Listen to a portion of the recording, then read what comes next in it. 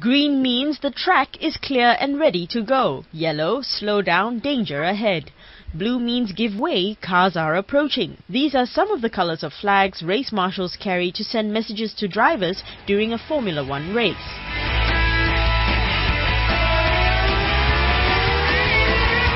But for the first time in F1 history, these flags go digital and can be activated remotely with a button. The prototype was revealed by lighting consultant Valerio Maioli, who is behind the lighting system for the Singtel Singapore Grand Prix race in September, the first night F1 race ever.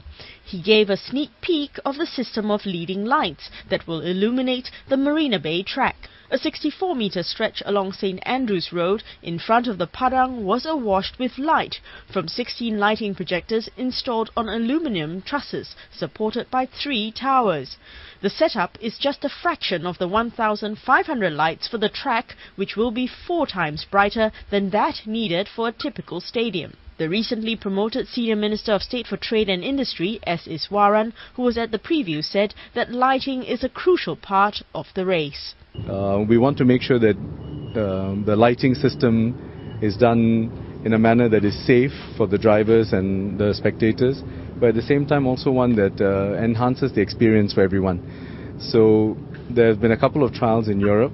Uh, this is the first time they're actually setting up something in Singapore on our streets, and by the looks of it, it's quite promising. I think uh, they will do this incrementally. So this is an important milestone to establish the the structure, the how it looks, and you know how it will functionally operate. And I think they have several other milestones along the way. Uh, but the primary issue is always secure uh, safety, making sure that the race is uh, done in a, run in a safe manner uh, for the drivers as well as the spectators. Some drivers have voiced concern about the safety of a night race and race conditions, especially in the rain. We test uh, the lighting with the rain. When you are on the track, you have not the perception you understand that it rains, but you don't see it. What I can tell you, sincerely, that uh, the rain is not so big problem because uh, the light is vertical and you have not reflection. The reflection is quite vertical. The reflected beam are vertical. Members of the public will be able to see the structure from 7 p.m. till midnight daily till April 6th. Tracy Swa, The Straits Times.